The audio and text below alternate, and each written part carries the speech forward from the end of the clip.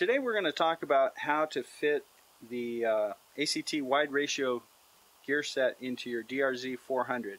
There's three places of interference within the uh, transmission that are caused from the larger fifth gear that ACT offers for this. Uh, the first place is going to be the case right here. The second is the shift fork and uh, and how it clear, how it clears over fifth gear. We'll show that in a minute. And uh, the third would be the second shift fork that has to go around the larger fifth gear. So you can see here that the, this case has already been clearanced. So this area around the shift fork boss right here, um, it has a minor interference with fifth gear. You only have to go about a 16th of an inch deep and shouldn't cause any significant problems. You can cut it with a Dremel tool or a die grinder or anything pretty much. And you want to go about a 16th of an inch thick on this web. So let's talk about how to check for proper clearance of, uh, of the case there. What you're going to want to do is install the primary shaft. This is first gear which is cut onto the shaft. You drop that in the case. Now you're going to take fifth gear from the primary shaft, drop it on, and obviously now it clears. The second area of interference is with the shift fork for third gear that goes on the primary shaft. So what we're going to do is we're going to install third gear onto the shaft and the shift fork. This is the factory shift fork so you can see the interference problem. I can't even drop it on all the way. So what we're going to do is you're going to put the, the rod in and the fork in and it doesn't even turn.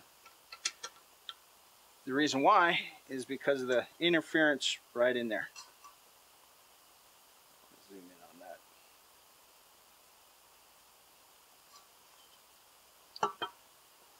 So now with a properly modified shift fork, it will look about like this. Here's one that has been modified and the stock comparing to the stock one. Once again, it's about a 16th of an inch thick through here. Drop that in. And everything spins free. You can see that area right there.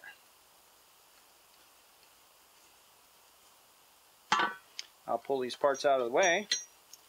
And next thing we're going to do is uh, check that last shift fork. In order to do that, we have to install the uh, secondary shaft. I'll pull fifth gear out of the way for now. Um, the secondary shaft, you want to have the fifth gear installed, the factory first gear. Make sure you have all the right washers and the bushing, everything in place. Now to hold it in place on this uh, this while you're putting in the case, best way to do that is really upside down. So kind of hard to do facing away from me, but we'll attempt it. Drop it in.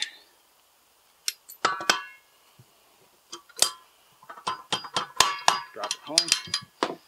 Okay, so now we have the secondary and primary shaft in. You have first gear right down there. That's the factory parts.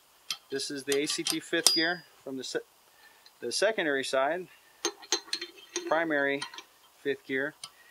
So now that we have the primary and secondary shafts installed, and you have first and fifth gear installed, we're gonna, I'll show you where the interference problem is.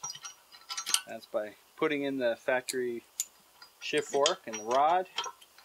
And you can see right there, it's not allowing this gear to get to fully engage.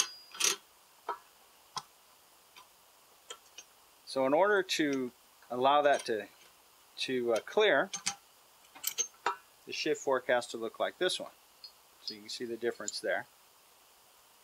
So let's put that one in place. Modified shift fork along with the rod. And you can see here, it, once you're shifted in the first gear, everything still spins free.